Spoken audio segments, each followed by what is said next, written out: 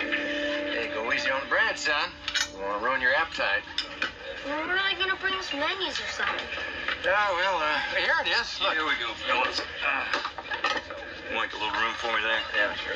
Be careful. The plate is real hot. Hey, you're John Ross. I don't want chicken. it's not chicken. They're the birds we shot today. What's the matter, son? Don't you like it? Come on, John Ross. That's why we shot him, so we could have him for dinner tonight.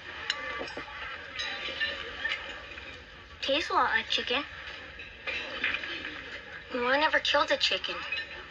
What do we have to kill things anyway? You can buy all the food you need at a store. John Ross, long before there were stores, men had to go out and hunt for their food, put it on the table. Otherwise, they'd starve to death. We don't have to do that anymore. No, no, we don't. But there's a lot more to hunting than uh, just putting meat on the table. Uh, builds character, makes a man a man. Yeah, teaches you things that you're going to use for the rest of your life, son.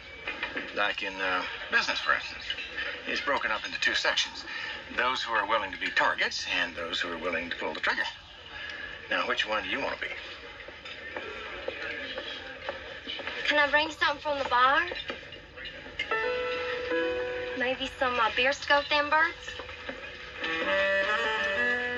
That'd be fine. Thank you.